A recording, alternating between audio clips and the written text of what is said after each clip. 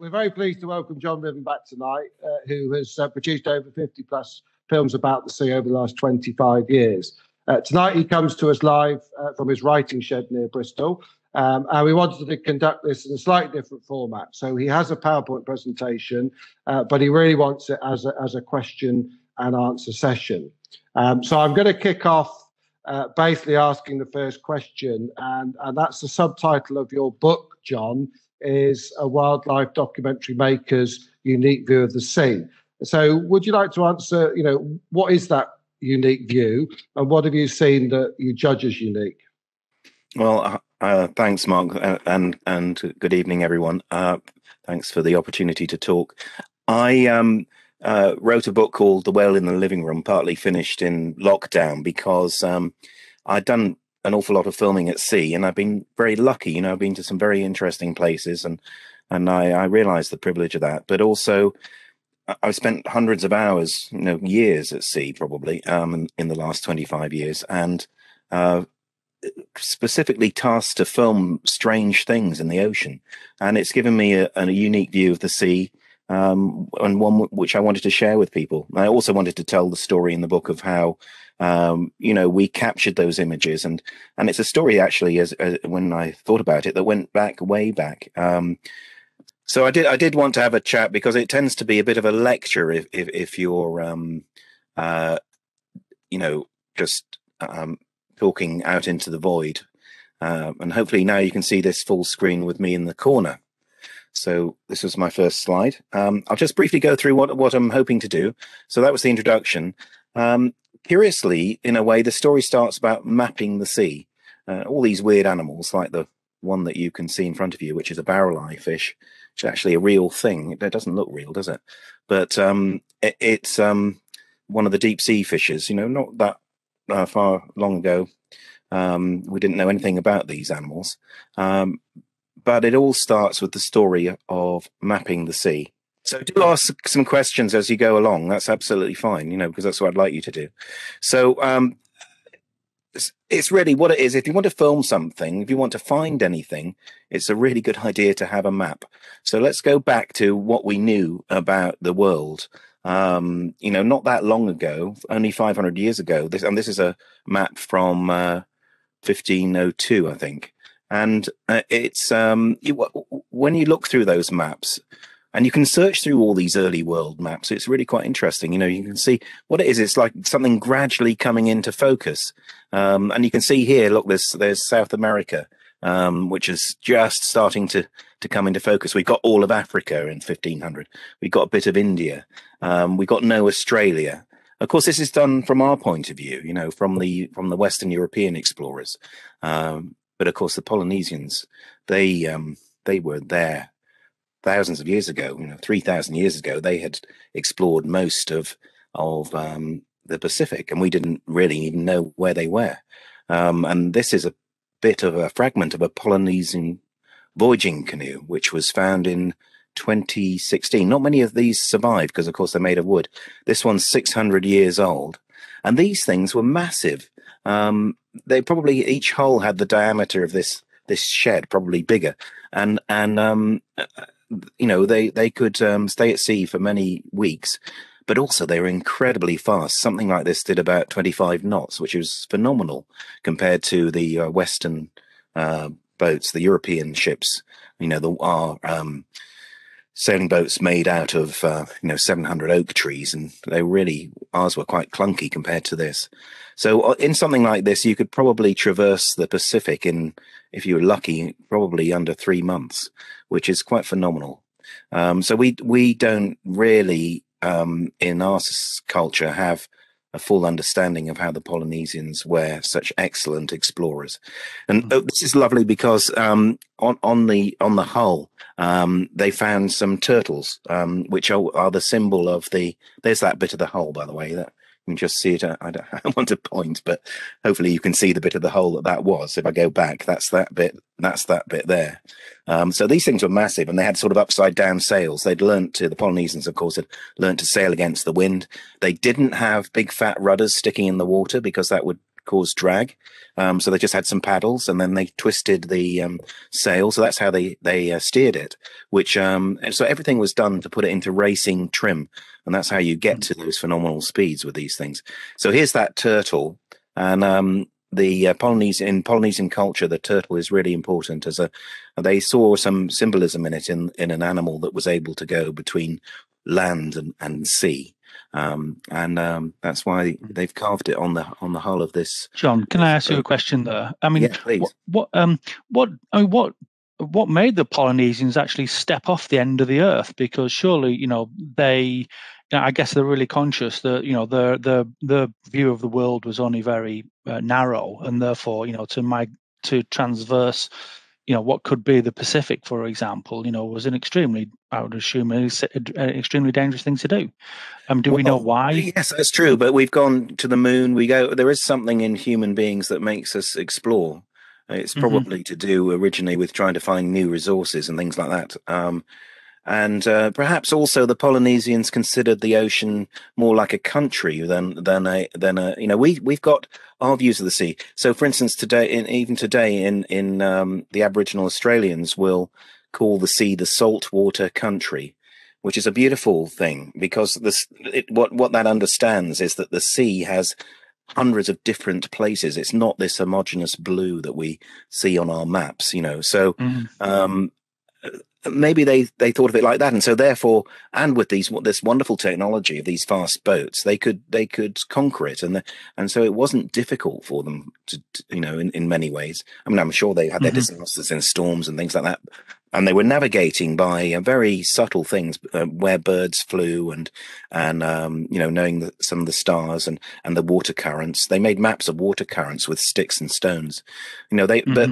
but those methods we underestimate because they had explored the whole of the pacific uh, you know 3000 years ago um, yeah. you know um, i think that you know obviously some of the later islands like Easter Island and New Zealand, I think were one of the last sets to be found. But um, even New Zealand is about 700 years old, you know, mm-hmm. 700 years ago before um, people colonized it.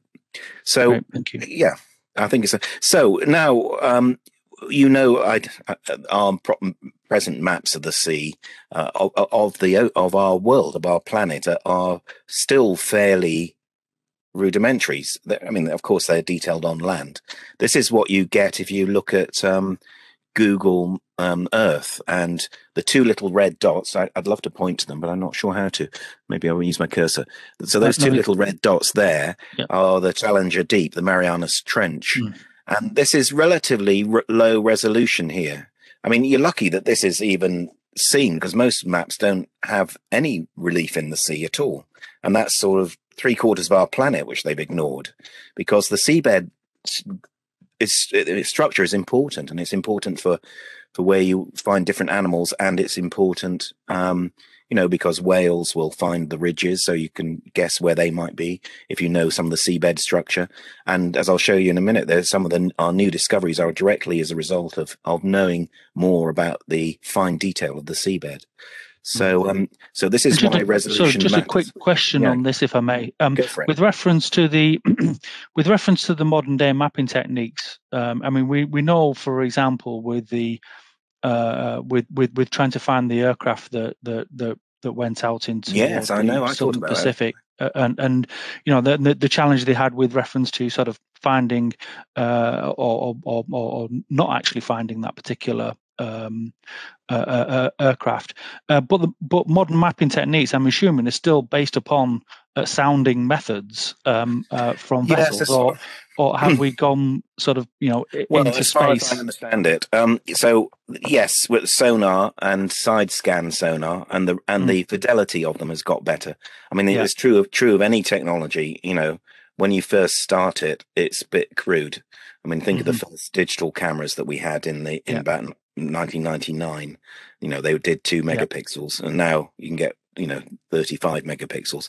But it's basically the same technology. I mean, car engines. I mean, they, they 150 years old.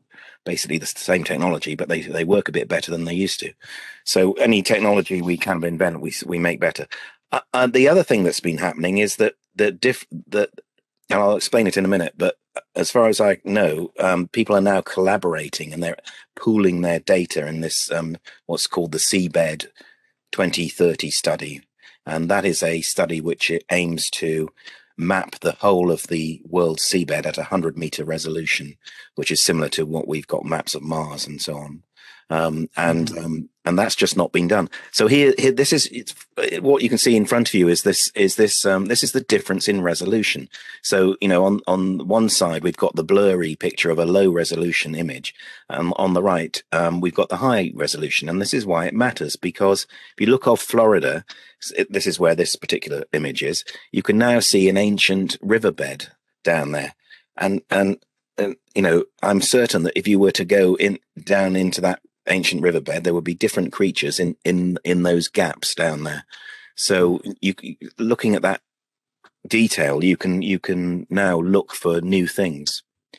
So just so this this is um so the Seabed 2030 project to make the world's um, oceans mapped at 100 meters resolution um, is part of something called the General um, Bathysphere um, I'm just trying to remember what uh, GEBCO stands for. You probably know, but um, and it's basically a mapping system to to um, integrate what's known. Now, this is an image from Australia where you can see all around the edge. So the the the, the red areas are quite well um, mapped, and then you can see tracks where they've sent side scan sonar. And of course, in in the bits in between, nothing really has been done at high resolution. I just thought out of interest you might like to see the UK. Um, John, there was a, sorry, the question on the chat that says, uh, where was that on the Florida coast? Oh, uh, okay. okay. So going back, um, it looks like it's north of um, Venice Beach, right at the top bit. I couldn't tell you exactly, but um, there, I'll give you a link in a minute, or, or a um, at least a tip as to where you can look at these maps because they're online. They're available online, and GEBCO is is the gen, general bath. I can't say it, but it's basically the the survey um, which they're doing with Nippon, the Nippon Foundation for Seabed 2030. So if you have a look at Seabed 2030 and search it in Google, all this will come up. Um, so here we've got the the UK map, and you can see, of course, actually the UK is probably one of the best studied places. Um, but then off the continental shelf, it's all missing again. So um, now, why is this important? One, so one, I want to come now to one of the things that we filmed for Blue Planet One. Uh, it was quite extraordinary, and it was filmed in the Gulf of Mexico, and um, so just south of Louisiana. You may know that the oil industry um, has got up to well, I think about forty thousand structures in the Gulf of Mexico because it's the Americans have have extracted a heck of a lot of oil from there, um, and uh, so on our Google map here with the red lollipop, you can see our typical knowledge of this of the sea is just the uniform blue, but of course if you start to look at the structure of it, and here on the right is, is a structure from the seabed, you can find some interesting things, and um, this is something called a brine pool. The Gulf of Mexico flooded and uh, evaporated thousands of times in history. And I think you go back several hundred million years, and there is now, and as you know, every time you evaporate ocean water, you get salt. There are some places in the Gulf of Mexico which have got five miles of sediment salt in them. And they're also super concentrated pockets of salt and that's what these brine pools are. Salt is is very plastic, and it comes up to the surface. Um, and um, well, I say surface; it comes up to the seabed, and it, and it, it's pushed between the gaps between rocks. So this is a a lake of super concentrated salt. And I was lucky enough to visit this in um, on the first Blue Planet. This was we went with um, the Johnson Sea Link submersibles, and that's what what this is. Um, they were decommissioned in 2011, but um, this was 2001. We went down to the brine pools. You can see here, which is on my left, but I don't know whether it's your left, uh, is the um, Johnson Sea Link. Um, uh, probably about a mile down on one of those brine pools, and what its light is shining on is is a um, a shoreline. It's quite surreal when you come across these because they um, they look like a lake underwater, and uh, um, you know, you'd never think that that's sort of thing you might find, uh, you know, a mile down on the seabed. And around the lake, they have got um, mussels. So as well as that salt pushing through the the seabed, um, the super concentrated salt is about eight times more concentrated than seawater. Are um, gas deposits and methane, um, and the animals that are living there are not. They're living in the dark. They're a mile down. They are living. They're, they're living on bacteria that can convert the methane into usable food. It's a, a, hydrogen sulfide metabolism. It's not anything to do with any of the well-known uh, ways that we breathe or plants make make food from light. So this is hydrogen sulfide. It's if you like, it's the third way. Actually, some people think it may have been the first way, and that life, all life, evolved around these these um, places like these seeps. They're called. A question. Cold, sorry, can I ask a question? Just yeah, please, if I may. Um, but for clarity, I mean, in my mind, then you know there is um, a necessity for a, a, very still and very um, uh, stable environment to to be able to enable these particular salt pools. Um, uh, um, but yet we've you know we've got the uh, threat of from the oil industry, for example, in order thinking that may actually possibly be drilling somewhere close by. I mean, is yeah. there a is there a challenge between um, uh, you know industry and uh, the ecology of these. Large... Well, very much so. I think seabed mining is a big issue at the moment. Um, I think we're, we're about to be weaned off oil, but um, yeah. so at the, at the, time that this was happening, the reason they were using this Johnson Sea Link submarine was really not mainly for uh, research on marine biology. It was it was something called ground proofing.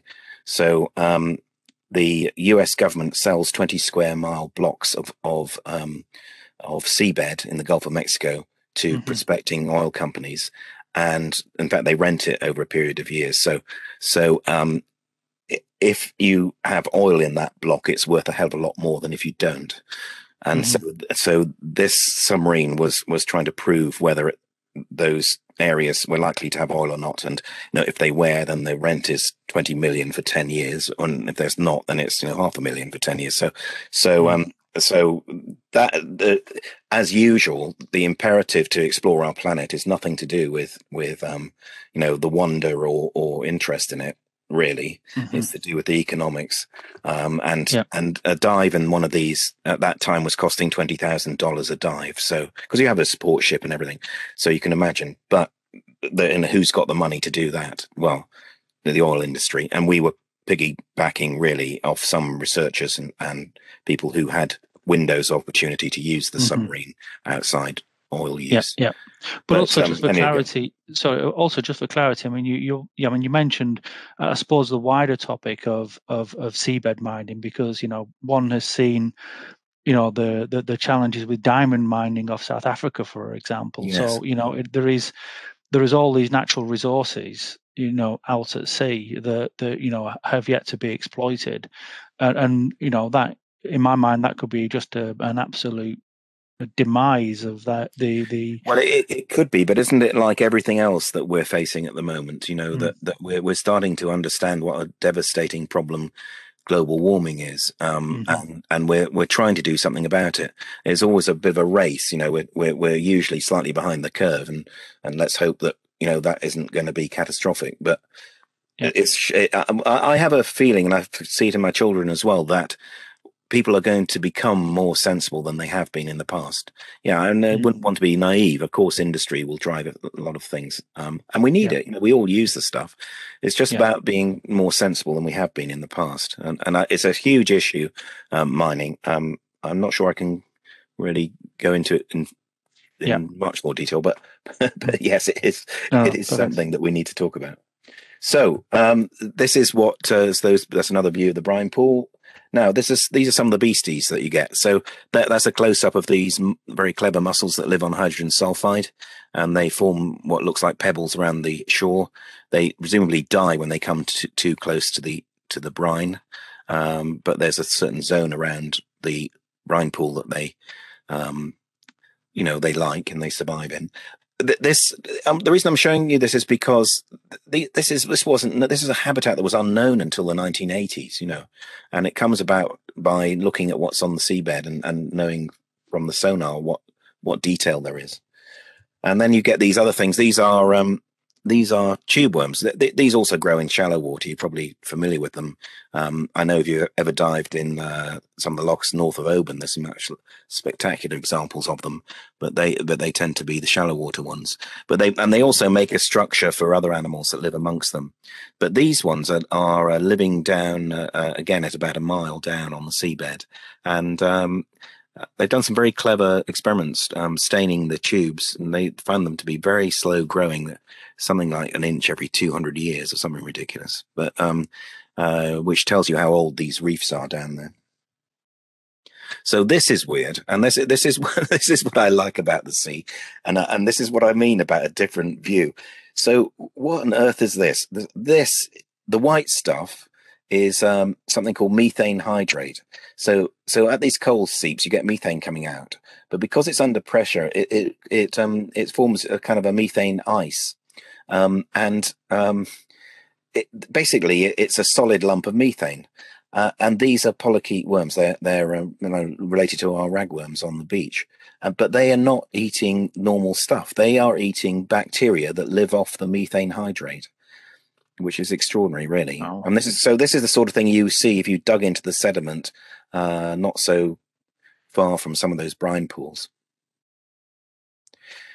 So that was so that was just to to, to um, talk about um, how uh, you know mapping the sea is important and how we um, have found great new things because we've mapped the sea at higher resolution and how we are continuing to map the sea. In fact, there's a big drive. I think this decade is called the UN Decade of the Oceans, isn't it? So that's part of it as well, trying to make a bigger drive to understand the sea. So um, I think the other subject which I'd like to talk about is is about uh, the blue whales, um, which we filmed in uh, Blue Planet in the first series, and I was the um, I was the producer who did that. That was our crew in the centre there. That's me about 20 years ago, looking a bit more hairy. Um, so um, we, we um, opened the first Blue Planet series with um, blue whales. And um, how do you film blue whales? Had, in fact, surprisingly few people had filmed them at all, um, given that they're the biggest animal in the sea or perhaps that has ever lived. And uh, so there are certain places that you know are, um, you know, well uh, researched, and um, that's what you do as a filmmaker. You ask the researchers first, where, where, you know, where would you find a blue whale? One of the answers is um, in uh, Baja, Mexico, which is, which is, um, you know, obviously the extension of California, the bit that wasn't stolen by the USA. Um, but um, the so it was a part of California. But there's a thin leg, which is still Mexico, and um, so on the on the left hand side, we've got this is what you what a blue whale looks like when you see it from the water.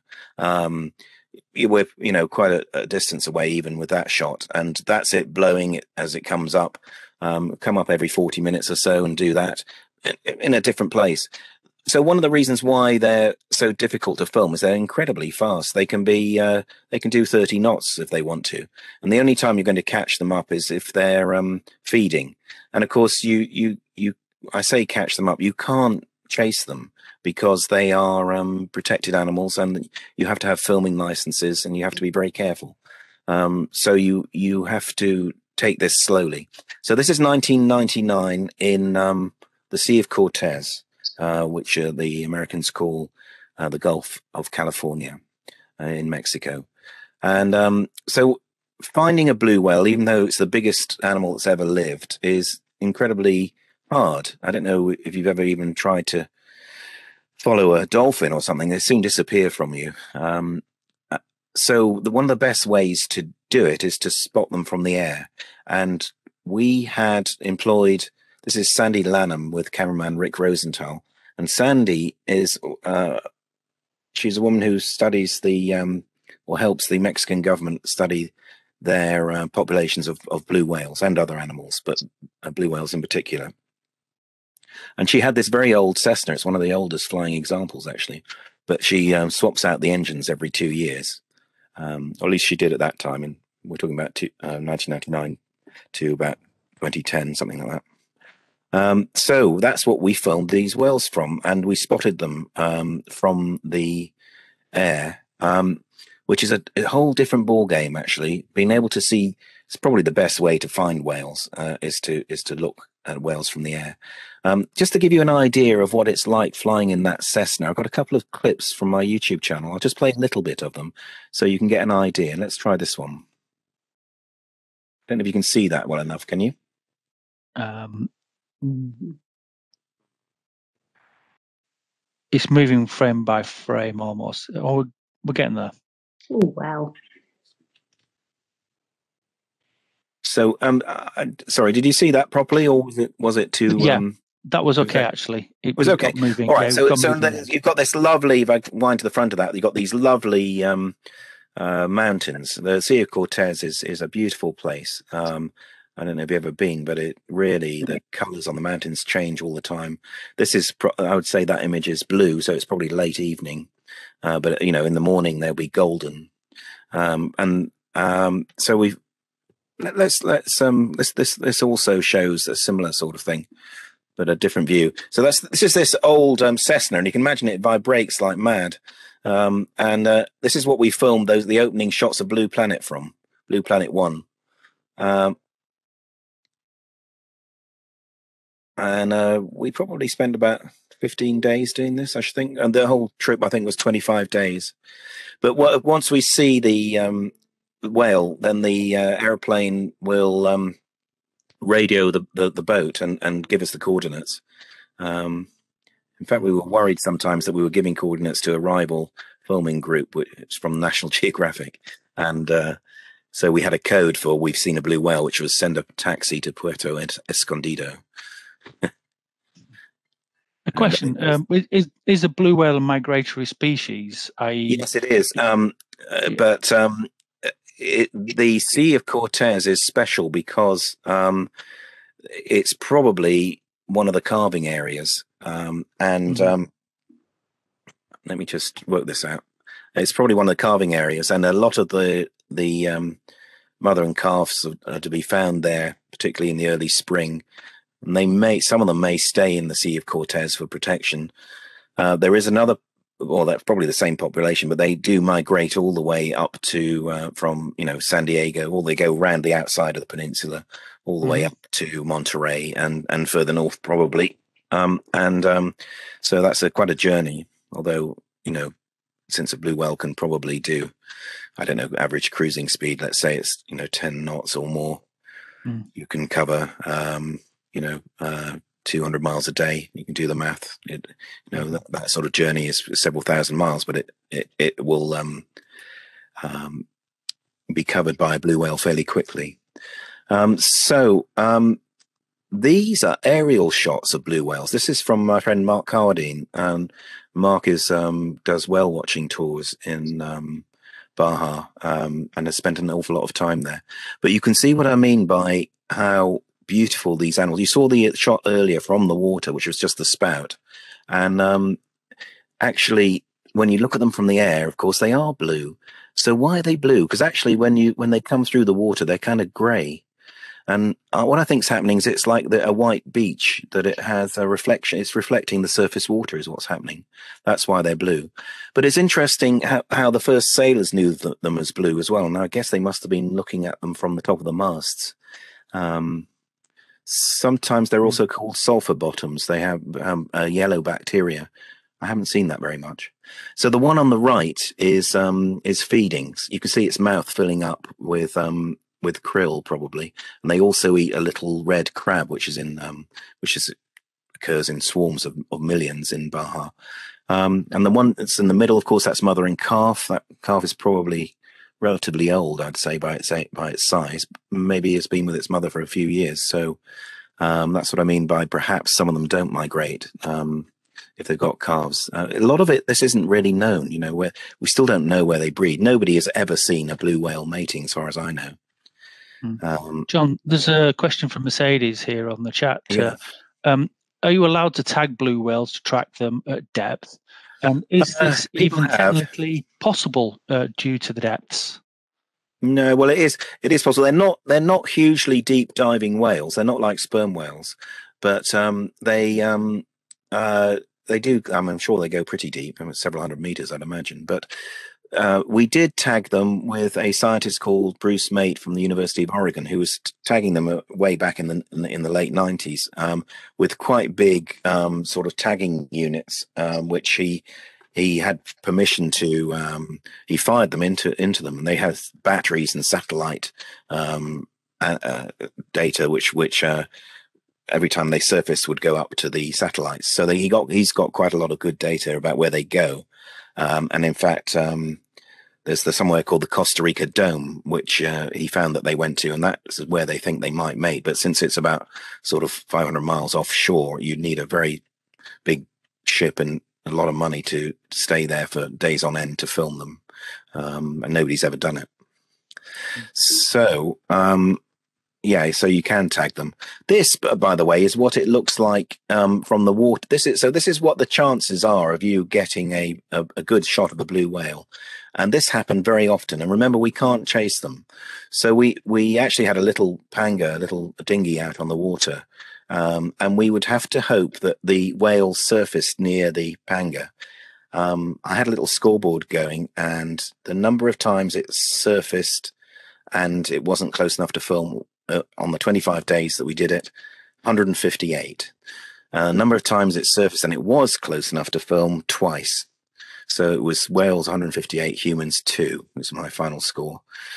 But you can see you can see what it you know how difficult it is, even though this is the biggest animal that ever lived.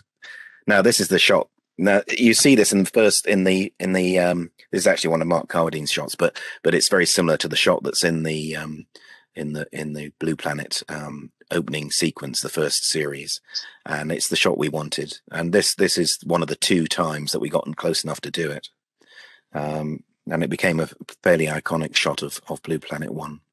So, you know, we had some success because we used that aircraft and because we were able to coordinate the aircraft and the boat and because we had enough time. We had 25 days, you know, to do this. So um, then we get David Attenborough out to um, to do the uh, an introduction. Um, this is actually the first um, one of the sequences in in the life of mammals as well as the Blue Planet. It was what we call a shoot share, um, we they, so obviously these things are expensive, so we did did it for both shows. Um, now this is actually using what we was the a whale that was tagged by Bruce Mate because you couldn't have David for 25 days. Um, you know, you might have him for three days to do this, so you had to be sure that you would get a blue whale. And the way that we did that was to go with the scientist who had tagged them, as someone was saying earlier. So that's the end of the blue whale section. Now, what I'm going to do is to go back to the deep sea. Um, I quite like the history of, of the oceans, as you know. Um, and this is a um, this is a, a scientific um, plate from the um, uh, HMS Challenger expeditions, and HMS um, Challenger was the first ship to invent oceanography.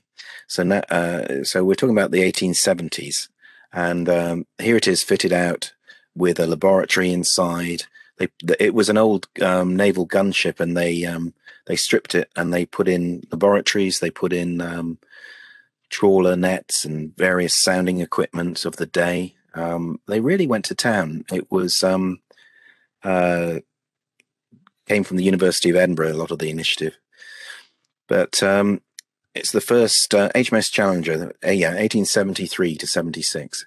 Went around the world nearly three times um, and had a very regular routine of sampling everywhere.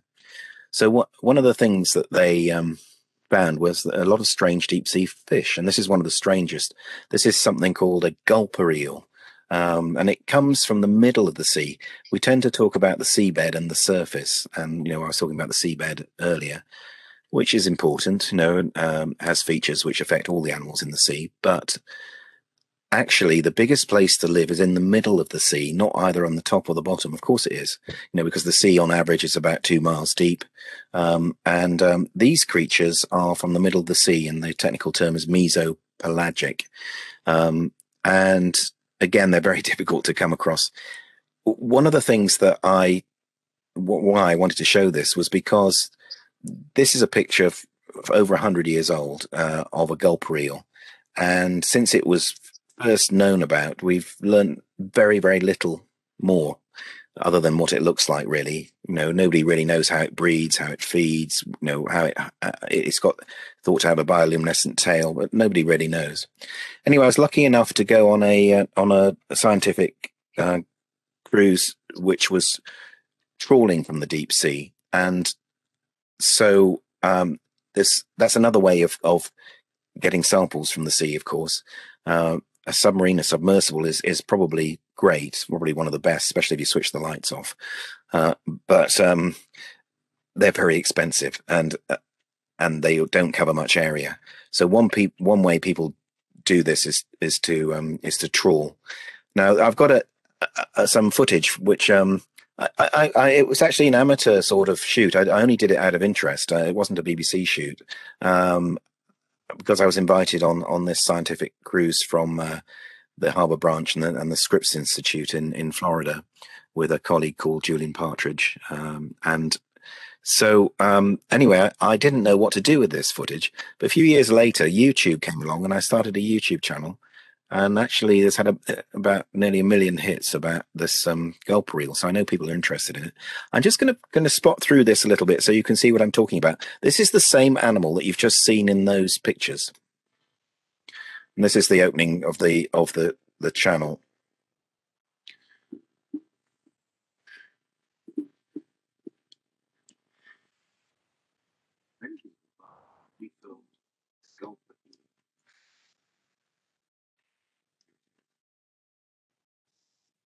Can you hear the the audio? Um, not really. Not really. Okay, well that's all right. So what what I, what I was saying is that so this is the, this is the I'll try and wind to the right bit. That is the gulper eel that you saw in the pictures. I mean, it's a very weird um, fish with a very big mouth. Um, and it it lives at about 600 meters, and uh, there. So that so there, there, there's a picture of it there. It's got quite a square body, um, and at the end of its tail, it's got a bioluminescent organ, which is that, um, and that's a lure, of course, which it dangles over its head. We think nobody's ever seen this um, to catch uh, prey. Um, somebody did film it uh, live recently, um, and there, there. Look, this, this is get fine detail. We're filming this in a tank um, because what happens when these samples are trawled up, when this animal's trawled up, is of course it will eventually die or pretty quickly, um, partly because of damage in the net, but also um, temperature difference mainly. Some people say pressure difference, but actually these animals don't have air spaces. They evolution has made them get rid of their air spaces, and they have different ways for flotation. Um, so they're well adapted to the to the deep depths of the ocean. But so I'll just show you this. Those are hairs on the on the tail. Nobody even knows this. There's no scientific paper that's that's that's pointed this out. But those hairs are probably trigger hairs, which which if, a, if something comes nearby, it'll eat. You know. Um, anyway, um, then you we we filmed this in in great detail with macro lens. Yes, this is a point I try. So this is the gulper eel in the in the Natural History Museum, which is a little bit you know, worse for wear. Um, and it has also been sort of reconstructed. It looks almost like it's been repaired with paper mache and painted. So, so the trouble is that you, if you don't have the real live animal, you can't see it properly. This is what happens in um, samples are kept in form formaldehyde. They often decay, and, and again, you know, they're limited use to to see what the original animal looked like.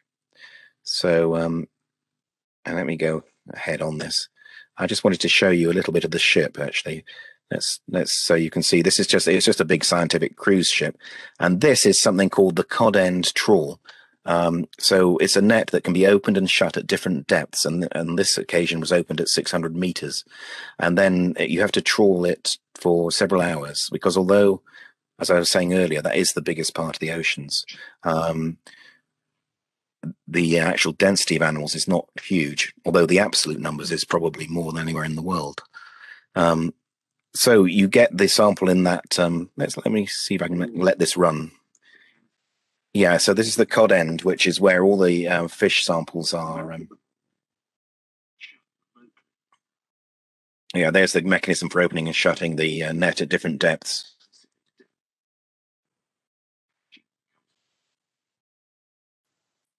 Yes, let me just. Uh, so you control day and night, of course. That's what this is. What the, what it looks like when you open up the cod end, and these these are the samples that come up from the middle ocean from 600 meters. So you got dragonfish, all sorts of things that were in that early Challenger picture. It, uh, John, it's still quite a primitive method of um, it's a um, very primitive scientific method. research, as it were. Yeah, I guess we've been doing that for a number of years. Yes, well, it, it, it's not that different from what HMS Challenger was doing in 1870. Indeed, um, um, and uh, that's the sort of the point that I wanted to make. Really, is that that we, uh, you know, we're still a little bit behind the curve on what we know about the sea because of the way that we're tackling it. It's partly funding, though you know and and, and and here's the thing if you could make it cheaper to to film the sea and i think i can i think we can make it cheaper um, by um, using all the small cameras that we have and many other methods um, which are coming online at the moment. But uh, yeah you're right. You've either got this which is um, trawling you've got the submersibles which are fiendishly expensive um, or you've got landers which are just sort of frames left on the seabed um, and then re uh, read picked up again you know? So um and of course that's mm. the cost. The, the the deployment cost of these things is actually more than the things that you're making you know because you have to leave it somewhere and go and get it again um and you know how you do that is pretty complicated but it's also very expensive because you have to send out ships you know far out into the ocean which is you know the explanation for why actually you know we're still in the 21st century we still don't know a lot of our ocean so mm. this this um, is the filming tank that we use, which is called a Kreisel. It's a circular tank, um, and uh, you've probably seen it if you've ever gone to an exhibit about um, jellyfish. Um, and um, the thing is that it makes a circular flow, and so nothing sticks to the side, um, which means that you can film it a bit more naturally. there's some deep sea jellyfish and stuff in there. There's our gulper eel, poor old thing. So you know, it would the, it was it was pretty much dead when we we found it. So here's the, the here's an ROV, of course, which is I think um, in this video I'm trying to um, explain how that you've got different methods. And again, here, so he this is the HMS Challenger nets, so not that different to what we were using. Mm. Um, so I'll try and get out of that now. Um, yes. So um, that was the section on uh, weird deep sea fish. I think you probably guessed that. now we're coming to uh, to something else. So, what do you think this is in the jar? Have we got any takers as to what that might be? Yeah. That um, is the biggest eye in the animal kingdom. It belongs to the giant squid, and uh, oh. and the giant squid lives at at fourteen hundred meters or deeper perhaps as well, where it's pretty dark, pretty much virtually all dark, I'd think. So why mm. has the um, why is the biggest eye in the animal kingdom found in in the dark, um, in the deep sea? And that um, is an interesting question because it leads you to try and understand all sorts of things. Is it um, not sort of try to determine its predators by looking at, toward the skyward? Yeah. And, uh, uh, possibly making silhouettes. I don't know. I mean, well, I'm, I'm sure that would help in shallower water. Um, the um, uh, the thing is that um, probably at 1400 meters there isn't any skyward. Well, it's not mm. much anyway. Um, you probably know about this battle. This is the apocryphal battle between the giant squid and the um, and the sperm whale, and um, the sperm whale eats giant squid, um, I was lucky enough to meet a man called Malcolm Clarke um, in the Azores, and Malcolm was a, um, uh, an, a scientific officer on whaling ships up until '86 when they stopped whaling, and he um, was at the present sort of dissection of of sperm whales essentially when they were caught, and he looked at the stomach contents and he'd find about 20,000 beaks, which are the hard part of these. Um, uh, they're about this sort of size, the hard part, the mouth parts of squid, which are in the stomach of um, of sperm whales, about twenty thousand in the average um, sperm whale. Three percent of them were from the giant squid. They were really big beaks. Um, so we know that they eat that that sperm whales eat um, giant squid. We we also see scarring on the side of sperm whales of of the suckers of of giant squid. So we know that this battle happens, but of course nobody's ever filmed it. Not yet, anyway. I mean, goodness, that'd be a nice thing to film, wouldn't it? But um, so I was involved in the project with a chap called Martin Dohrn, who's a who's a very um, very good engineer as well as a, an excellent filmmaker, and he uh, has spent most of his life looking at um, how you make cameras sensitive to low light, and he turned it on a project um, to find the giant squid, and he had a theory which I can explain. Um, actually, probably explain with the help of this. So you have probably seen uh, I put Burnham Burnham on Sea here because actually I, I, don't think it is Burnham on Sea, but I, one night I did see that in Burnham on Sea, which is just just down the way from Bristol, um, and uh, it, it, was bioluminescent jellyfish in the waves. You, you, know, you might might have been lucky enough to see the this sort of thing. It happens all over the world. In fact, the sea is full of full of bioluminescence. Uh, on the left is myself swimming in the uh, Mosquito Bay in, in, Vieques, which is in Puerto Rico, which is known to be the most um, bioluminescent bay in the world. Um, however, if you've got the right camera, camera, then everywhere you go, the sea glows. And um, Martin's theory, which um, we tried by using various um, cameras with a very high sensitivity is shown by this crude picture. Um, the bioluminescence of um, and how why is it how is it caused? I mean, we go back to this. This is actually jellyfish in the waves, but there are um, smaller creatures called dinoflagellates, which are um, which when every time they're disturbed, they they cause bioluminescence, which means that anything that travels through the darkness underwater uh, deep depths is causing disturbance of these dinoflagellates and causing bioluminescence. So it makes a, a halo around itself. Um, and probably the shape of the animal itself is black. So we were hoping to see a black outline of a um, giant squid using these very sensitive cameras. Um, it's, it's, a big long story in itself, and it was made into a film called Hunt for the Giant Squid for National Geographic. Um, of course, did we ever see this? Well, we saw something that may have been a bit like this, but of course, one of the things about filmmaking is that you you, you don't necessarily need to um, have the ending you think you're going to have because it's uh, it's about the journey and it's about the idea. So you can make the story if you um, if you just have a theory, because and then you can use the film to explore that theory. So that's what we were doing in that film. But so bioluminescence in general, as I was saying, is everywhere in the world. Um, this is a mock-up of a lanternfish. The lanternfish is supposedly the most common fish in the world. Um, and mm. sorry, do do go ahead if you want to say something. Uh, not sure. Is there anybody ask wanting to oh, no. ask a question? No, no. That's all right. Oh, please continue.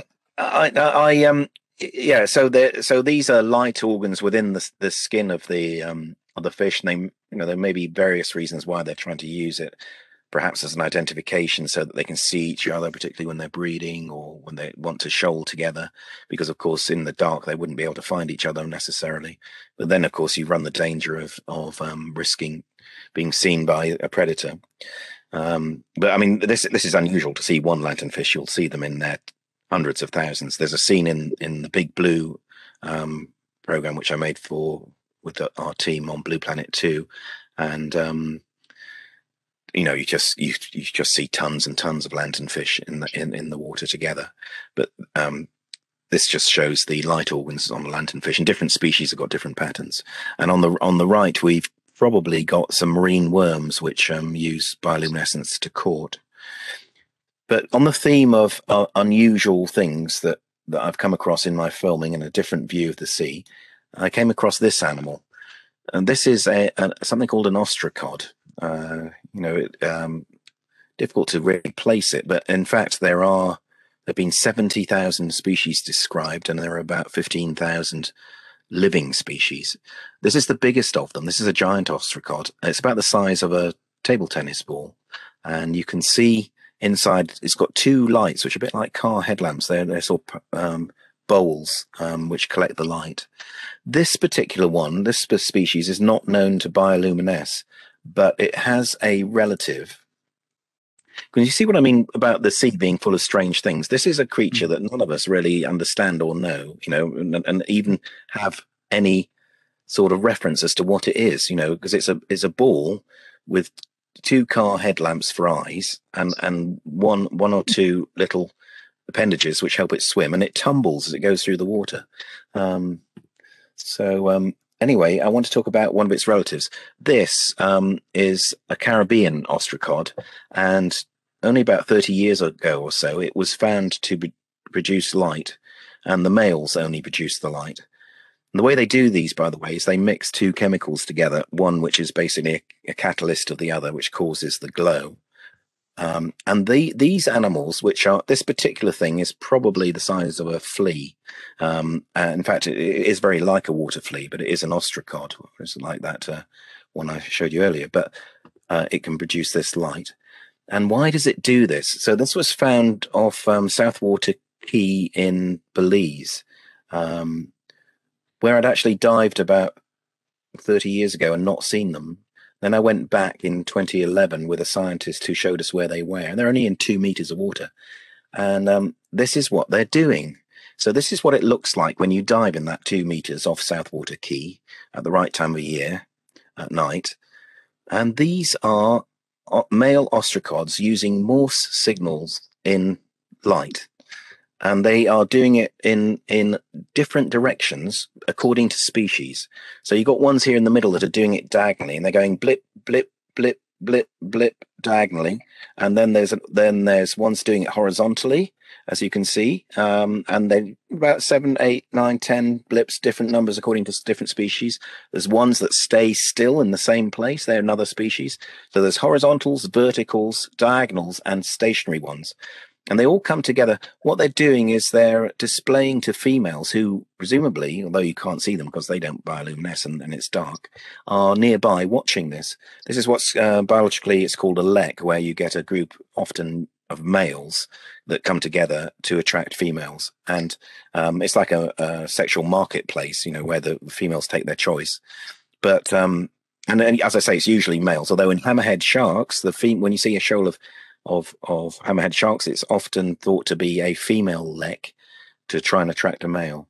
Um, but anyway, um, this kind of starts to blow your mind, doesn't it? I mean, this is mm. this is um, like you you dive in two meters of water and it starts to look like a Christmas tree underwater, and then you realize that this thing, the size of a water flea, is making different signals, and not only that, the different species make different signals.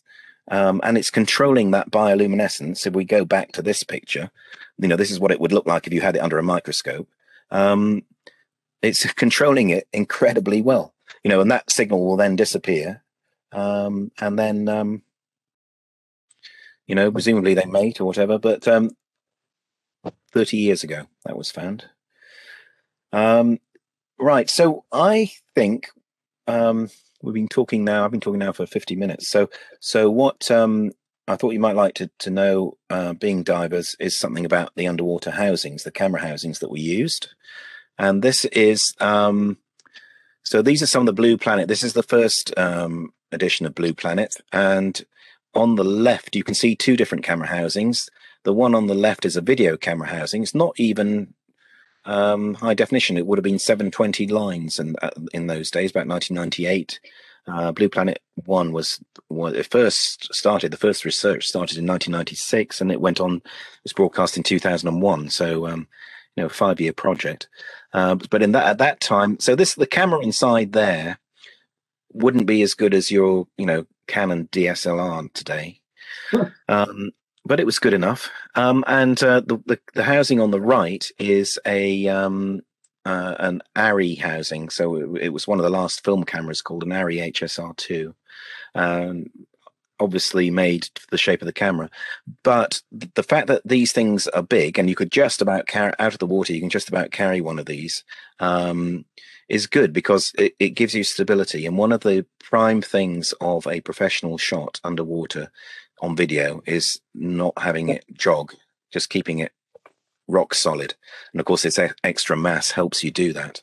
Um, this, by the way, is Peter Scoones on the on the right hand side, and, and, that is it. So he made one of these housings himself in his own workshop. Uh, the two on the left were made by a guy called Vince Pace, who went on to make this make work with James Cameron on Avatar and made the 3D system. So you know, it's quite um, technical engineering going on. Um, what else we got? Uh, this is in, this is interesting. So, you know, if you really get stuck for a housing, glass isn't a bad thing. When we were trying to film those giant squid in the in the dark, this is what we use. These things are good to three thousand meters, um, and they don't even have o, an O-ring seal. The ca- the cap uh, of the the top of this tube um, will um, it's just ground glass like your decanter bottles for whiskey or or oh, sherry. And and the two surfaces meet and then then you you use a bit of masking tape to to make the two surfaces stay together just so the top doesn't fall off. But as soon as that gets to 10 meters or more it's not ever going to come off. And you you barely trust it at first but it works this system. And the other thing with this glass is that you can grind you can optically grind it. So normal glass won't necessarily be um, good optically so, so you can have the front ground. I seem to remember it, the bill for that was about seven thousand euros, but it, but you still got a, you've still got a cheaper housing, um, and you've got one off the shelf. Um, so um, I'm sorry, I'll just get rid of that. Um, so yes, uh, a question. I mean, it, with all these housings and so on. I mean, assuming that they're you know. Uh, uh, well, they're going to be operating in relatively shallow depths, or, or, or or are they just designed depending on what one what environment one needs to utilize them in? Yeah, well, they, they the other housings. The, so these ones are, are these are never going to go beyond diver depth, so fifty meters. Yeah. Yeah. But this these glass things are um are going to these are good to three thousand meters. They're, they're, made by wow. a company called Vitrovex and and uh, there are other similar com- companies. And the other thing that's interesting about them is you can get them off the shelf because the scientific community uses them Mm-hmm. And uh, you know, obviously, if you ask engineers for something complicated quickly, then uh, you know the answer might be you can have it in in you know ten months, uh, which is not a good answer for television, which usually gets um, you know it gets a project funded and then it, everybody wants to go immediately and to have it ready in in, in a few months. Um, so um, except for Blue Planet, which was slightly unusual, but um, so um, yep. it's a good solution.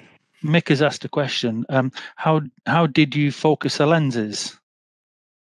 They were done um, right. So we had a live feed to these things. We had a um, a fiber optic cable coming out of the back, which was 500 meters long, and um, we had we flew these things on a um, um, a special. it looked like an underwater glider made by Martin Dohrn, and um, so we had a live feed from them, and there was some servo motors on the on the lens um, pull, and so of course we could just we could see it, you know, and and uh, we could send send the signal back to to focus it. I mean, it, it, it, probably, to be honest, would have been very, very wide. Uh, in which case, as you know, a lot of the image would have been in focus anyway, except for the first, you know, couple of meters in front. But yeah, it's um, and of course the other way you do it is the pig-headed way. So this is my my uh, housing that I made uh, for filming time lapse of things like um, anemones, and this is made from spare parts. Really, you can see a, a, a strobe that you probably recognize if you're an underwater photographer, um, and that's an Ikelite um, port which I've stolen from an old um, system. And this box is an aluminium box which was welded by some welders who do some welding in Exeter um, at the airport. I think I gave them twenty five pounds on a Friday afternoon. I think the whole thing cost me about six hundred pounds to make, um, but it did some some time lapse, um, which was quite nice, and, and it, it, nowadays you'd probably do this within your own housing. But of course having a bigger housing like this means that you can put more batteries in it and you can leave it down longer. This is so this is not video. This is this is a, a stills camera that's taking a shot every six seconds and the strobe is recharging. So um, you get some very nice um, images doing that. Uh, it's a bit of a fiddle though I've got the some of the results of this up on my YouTube channel in Duna, and you can see the you can see what this does with say things like dahlia anemones um, and the detail it gets from it. Now, nowadays it'd be superseded by you know ones that were probably off the shelf and, and nicely made. But um, I just put this up because it just shows you you can do stuff that you maybe think you can't, um, and you can do it relatively cheaply. Of course, it soon becomes much more expensive to, deploy this than it costs to make it, because um, if you want to, you know, hire a, a boat, obviously for a good time, um, it's going to cost, you know, for a week or so, it's going to cost you much more than six hundred pounds. This is a uh, so this um, this is from 2014, filming in in uh, Fakarava. So that's another story I might put in next week's talk, which is about um, the um, how we came to film the natural feeding behavior of grey reef sharks at night. But that that's just to show you what you what the rig would look like. On the left there, you've got a um, uh, a very big gantry of about 12 LED lights. So you're really lighting that up at night. Um, and also another feature of this is that that uh, you can see the hands of that man there or that person there and the stalk up to the lights. That's because sharks come to lights if you're not careful. So you do not want your hands near the light, which we discovered to our cost. Mm. Anyway, um, so finally, um, I have a um, a thought about what we might do. So this is a picture done with Steve Hathaway in in New Zealand, um, and so I've talked about some of the extraordinary things that are in the sea, like those um, bioluminescent um, ostracods, um, like the you know the cold vents, the, the brine pools. But this is something that at the end of Blue Planet 2, we were just beginning to explore. It is in Blue Planet 2, actually. But um, so these big dark creatures are um, false killer whales, and these are bottlenose dolphins in the front. And they have been found to cooperatively hunt together. And we think that they change, this is still not quite proven, but that they change their acoustic communication when they meet to talk to each other across species. And they will um, you know that's extraordinary isn't it? Two different species um, changing their language like an esperanto to talk to each other. Um, if it's true. I think it is true. Um, and so why would they do that? Um, i think these big false killer whales can dive deeper and, and the bottlenose go wider.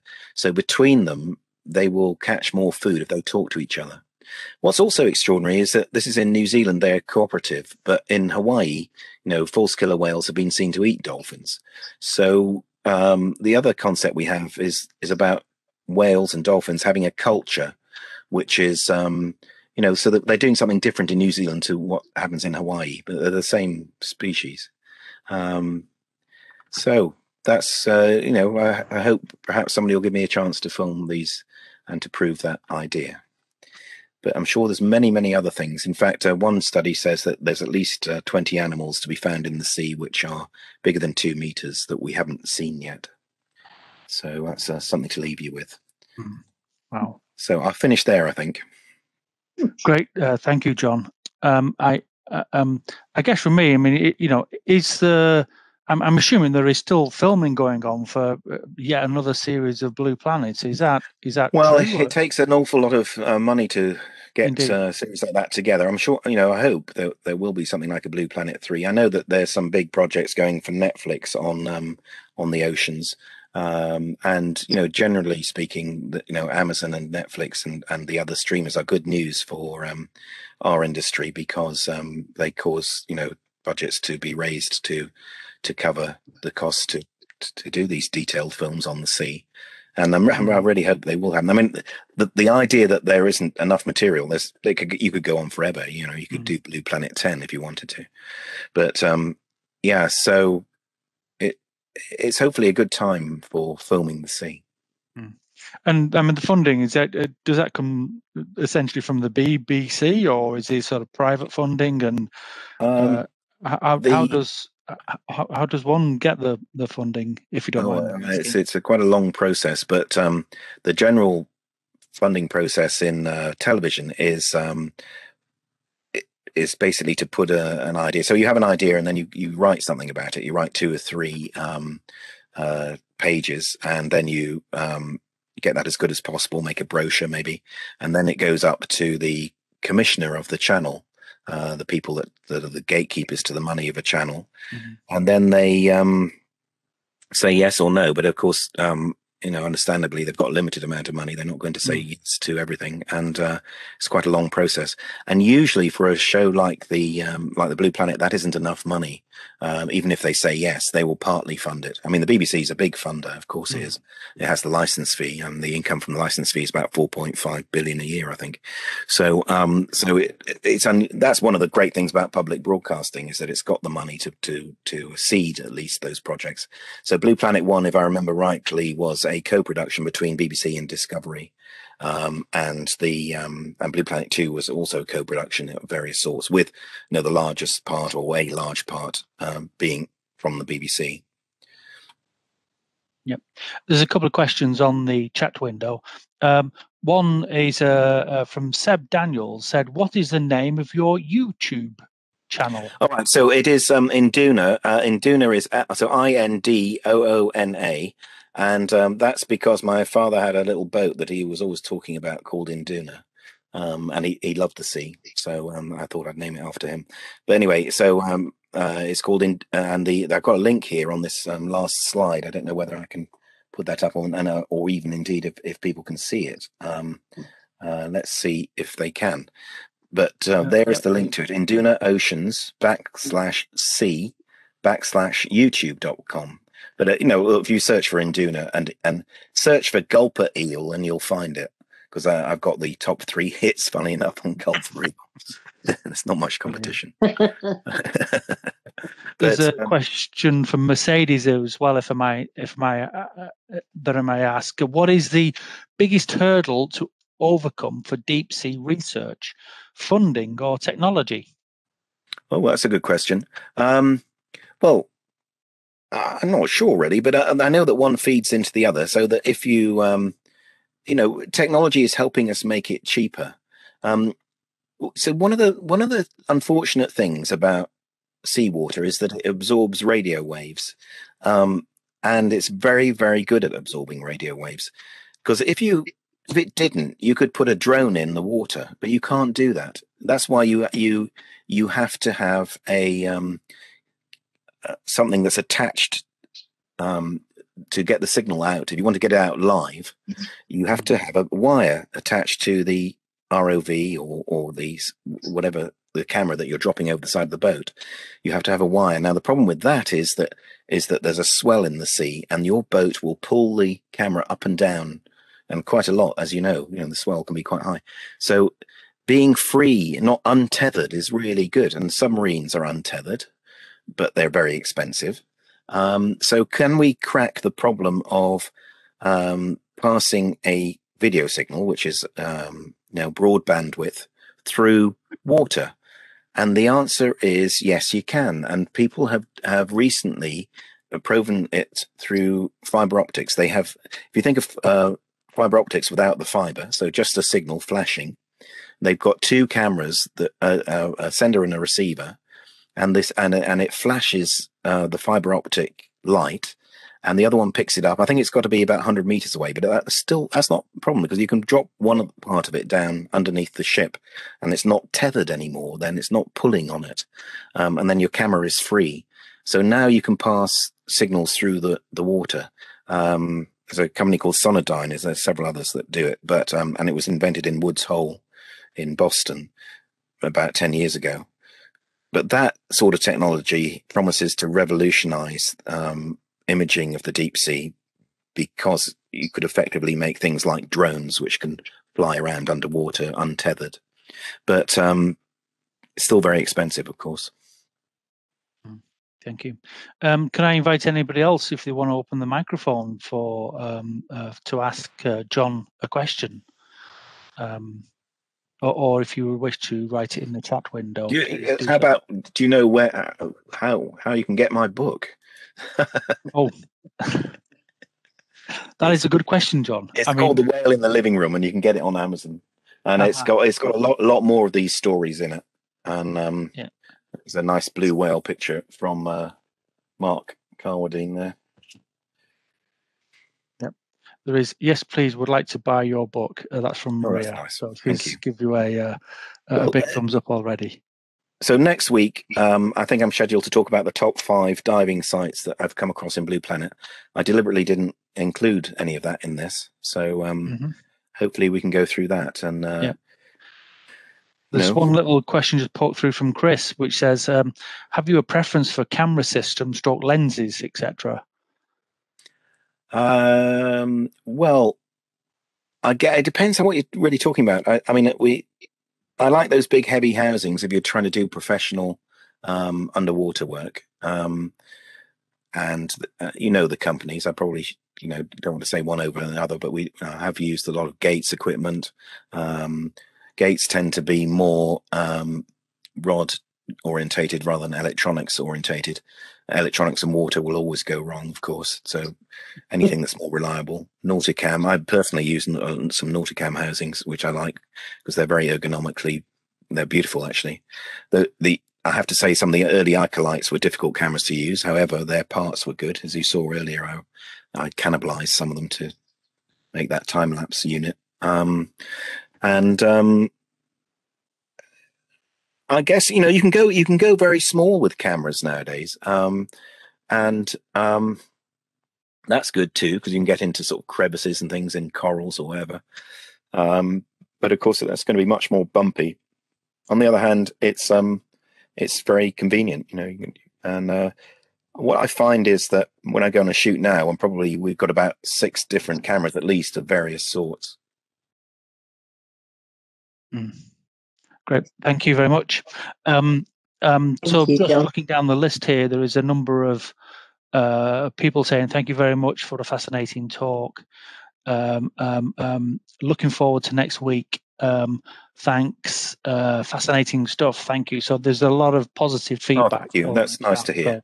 So well, uh, I, I love the sea, and I, and, and it's great to be able to share it with people. Mm.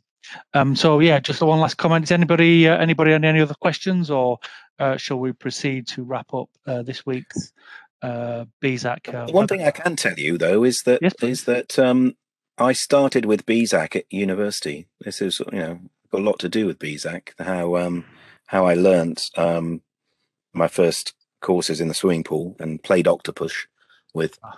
BSAC people. So um, you know, thank you for that. Yeah, I, I, remember playing Octopus back in the day. I was uh, originally from uh, St Helens, Wigan area, which was sort of rugby territory, and I think the our version of Octopus was more or less underwater rugby. Um, yes, a... I, I I played it for several years. It was really good, and it gave me the confidence. I was quite a slow learner, but I, I, it gave me the confidence that you know for diving to become a second um, second nature, which of course it has to be if you're concentrating on on um, on photography. I mean, that's why I love underwater photography. You not only you've got to do all the things that basically keep you alive and safe, you also have to think about you know your f stops and your various framing and your lighting and all that stuff. So it's a wonderful, wonderful mix of art and technology. Mm. Yeah, to be honest, I've I've actually just been uh, I've, I've I've just started doing a little bit of underwater photography, and it's incredibly difficult. I have to say, um, you know, uh, because there is just so much to think about. Uh, yeah, it is. Uh, I suppose so, but it's in, it pays it, it, it, big rewards. I mean, there's so so many wonderful creatures, aren't there? Yeah, and, um, yeah, yeah. Because uh, there's the yeah, sort of like the focusing. There's the getting the right uh, attitude of the of the picture of the subject matter itself, and uh, then there's the buoyancy control that comes into play, and it's yeah. Yeah. It's, uh, gosh. Yeah. Yeah. Yeah. Yeah. Yeah. Quite complex without a doubt. John, thank you very much. Thank um, you very much, everyone. Um, I, I, um, I, can't see you all. It's a bit um, blind, but um, I hope it's okay. And um, we'll see you next week. Yeah, Yay. that's very kind. Yay. All right. All the best. Great. Thank you very much, John.